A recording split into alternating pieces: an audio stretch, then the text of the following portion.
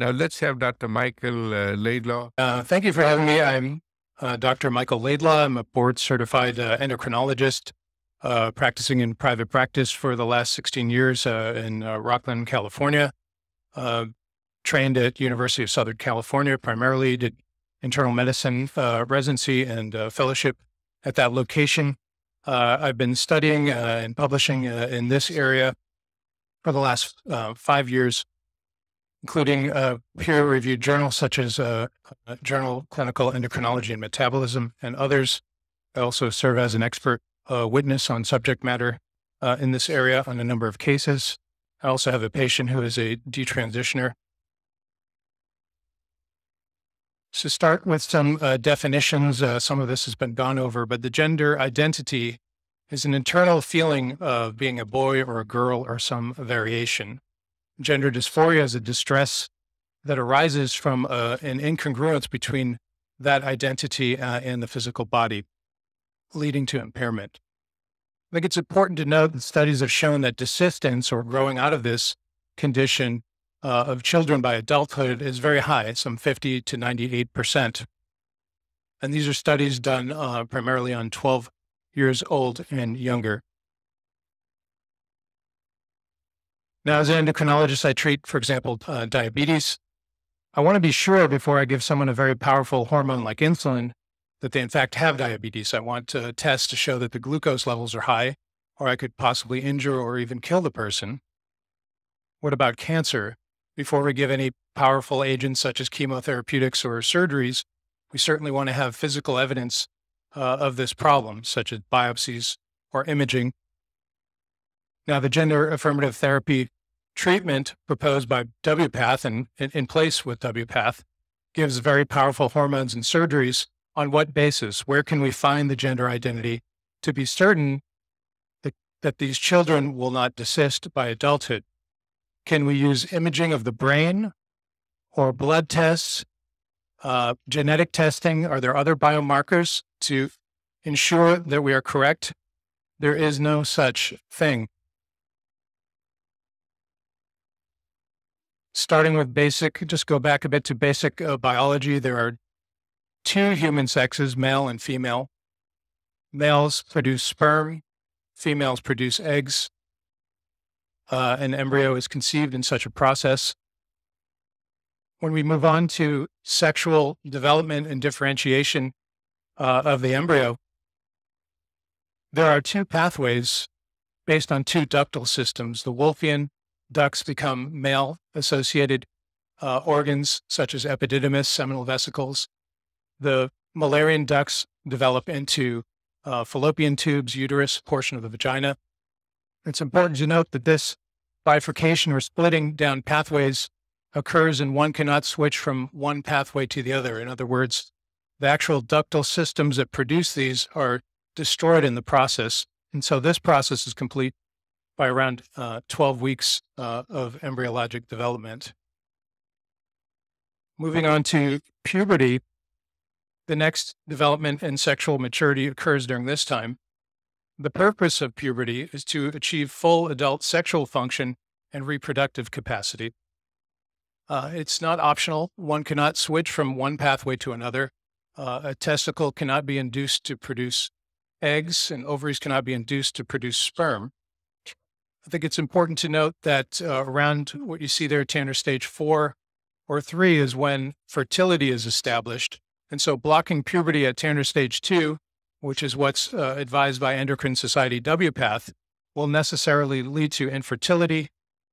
Cross sex hormones given over a long, prolonged period of time may lead to sterility, and certainly surgeries to remove sex organs will ensure sterility. The basic problem with this treatment, as I see it, is what happens when you force a square peg into a round hole. You end up injuring or destroying the peg in the process. So, what is gender affirmative therapy? There's really four stages social transition, puberty blockers, cross sex hormones, and then surgical modifications. What do we know about this? The, the biggest study uh, showing data over 30 years and looking at the entire medical databases of the entire population of Sweden found 324 individuals who had such hormones and surgeries and tracked them out. Here you can see uh, at around, this is showing uh, survival, and at around 10 years, the bottom two uh, dotted lines show a rapid uh, increase in mortality starting around uh, year 10. And you can see by the end, uh, the survival rate is much lower. They also found uh, increased risk of all cause, all cause mortality of three times and inpatient psychiatric care. And there was 19 times completed suicide rate compared to the general population. Um, Dr. Biggs covered puberty blockers very well, and I just want to add a couple things. Here is showing normal uh, pituitary function, where you have signal sent out by the pituitary, in this case, to um, tell the testicles to make testosterone, or in the case of females, the ovaries to make estrogen. What happens when you give puberty blockers? You actually cause a medical condition that endocrinologists would try to treat. It's called hypogonadotropic hypogonadism. This is an iatrogenic uh, injury from this uh, type of treatment. And as you to emphasize the idea uh, from the guidelines is to stop at Tanner stage two. There will be no further pubertal development, even when giving cross sex or opposite sex hormones. Just quickly, uh, here's a look at bone density, uh, the male and female over time.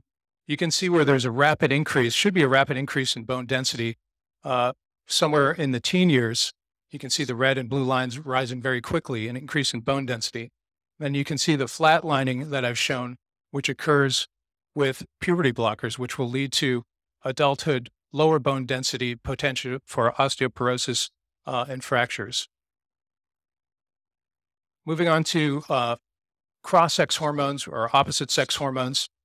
I want to give you an idea of, of how, what sort of doses we're talking about. Now, I have here in blue is a normal uh, adult female testosterone range is somewhere uh, from 10 to 50 conditions that we treat, which are caused called hyperandrogen, hyperandrogenism or high testosterone conditions, such as PCOS, uh, may have levels from 50 to 150.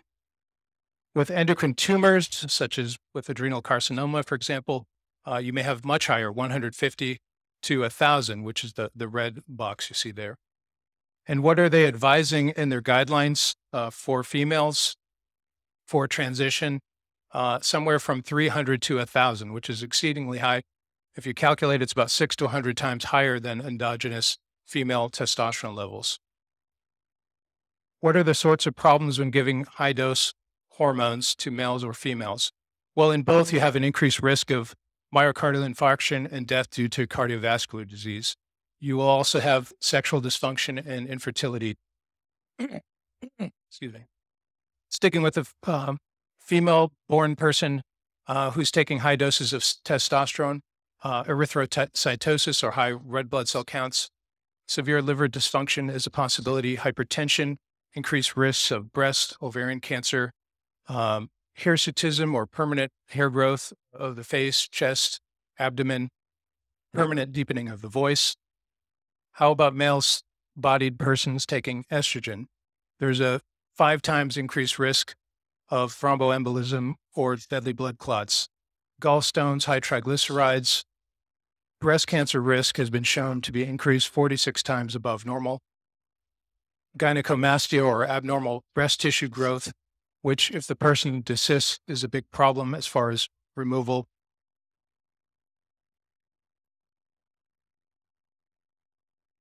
I'd like to move on to um, surgeries. Uh, this is a, a person uh, born as a female who identifies as a trans male. This you can see here evidence of the uh, hyperandrogen state uh, with uh, hair growth, uh, abdomen, and face.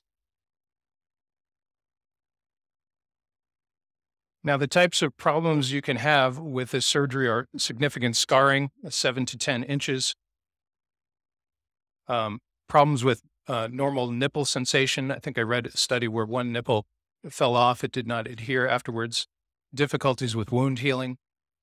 What sort of ages are we talking about here uh, in the United States? You may hear that, uh, well, surgeries aren't done on kids, but here's a study published 2018 uh, JAMA Pediatrics, I believe. You can see age groups. There's a couple of 13 year olds who had mastectomy, what, five 14 year olds, 15 year olds, 16 year olds. Very young ages. It's So important. Dr. Uh, yes. uh, Dr. Laidlaw, you have already surpassed your 10 minutes. Darn. Um, I appreciate your presence. So if we can wrap it up in the thir- next 30 seconds, Sure. 40, I really appreciate just jump to. I want to emphasize the Endocrine Society guidelines are t- written in 2017. Nine out of the 10 of these folks were all part of WPATH. WPATH is an activist advocacy organization. Um, in the disclaimer, it says very clearly, page 3895, that they do not establish a standard of care. This is not standard of care. There's already a community standard of care. All of the evidence is of low or very low quality or absent evidence. It's right there in their document.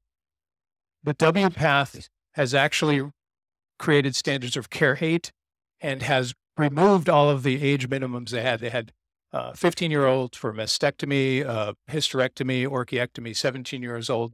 They've removed all these age restrictions uh, against the advice of their own experts. They've also uh, done a very poor job with grading the evidence. They've invalidated it. They have a chapter on how to make men into eunuchs.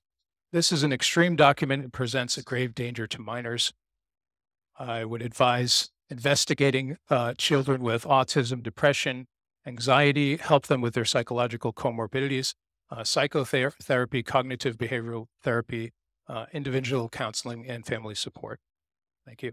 Well, thank you, Dr. Laidlaw. Does the board members have any questions? Uh, you know, I have one question, Doctor, not a question, a comment. Yes. You, the present, you made a very good presentation. From what I understand, the complications and the the, comp, the short term, the long term complications, uh, I believe, are uh, irreversible and significant. Is that what I, your message was? Yes, I, I'm making the case that they, they are, well, certainly surgery is, is irreversible. Removing uh, uh, testicles and ovaries is permanent sterilization. Um, some of these other problems will be permanent, like being on puberty blockers for a couple of years will cause permanent loss of bone density. Um, there's brain development, which occurs under the influence of sex hormones, which will be uh, altered permanently. Um, and other such effects, like I said, hirsutism, um, changes in voice will be permanent. Um, yeah, and infertility and such. But Sexual thank- dysfunction. Thank you. Uh, board members? I hear from you that there's a 50 to 90% natural desistance rate. And I've seen that in the literature. But then we hear from Dr. Janssen that this identity cannot change. There's a clear conflict there. What are we to believe? Well, you can believe the studies. It's there in black and white. I, I have it. Um, I have references to to look at. I mean, the the reason why they're saying it's a permanent identity is because they are these. A lot of the studies doing now, the kids have already socially transitioned. They're on puberty blockers, which you heard. There's very high rates of kids continuing on to cross sex hormones. So they're doing the interventions, and then they're saying, look, they don't they don't desist, but they've already they've already undergone the treatments. So it's not a fair comparison in any way. And then we hear that the, you're saying the evidence is low quality, endocrine society in their guidelines, or they say it's low quality, but then we're hearing that the quality is, the evidence quality is there. Again, we're hearing conflicting. What are we to believe? Well, if if you look at quality of evidence, we're talking about are there any randomized controlled studies that look at let's take a group two groups of kids with gender dysphoria. One we give psychological support, the other we give hormones and other therapies and compare those. The, those studies don't exist. Those would be called high quality studies. They don't exist. Um, even the NIH study that he referenced uh, doesn't do such a thing. So we don't have high quality evidence based on that. Any other board members? I have a question. Um, your Dr. slide, Amy? uh, your slide um, number ten on the long-term mortality um, with using cross-sex hormones. What is the age of the transition of the participants that are being studied? Is it people who have been transitioned as youth or or at all The- times? These, yeah, here, here it is. These are, um, to my knowledge, all, well, they're adults. for the most part. Yeah, there is no such long term study uh, for children. But one would predict, based on what's happening to adults, it would be similar for children or, or worse. Hearing no other questions from the board, uh, uh, Dr. Laidlaw, thank you so much for Thank coming from California and spending the time with us on such a very important matter. Now, Appreciate it. Thank you. I really appreciate it.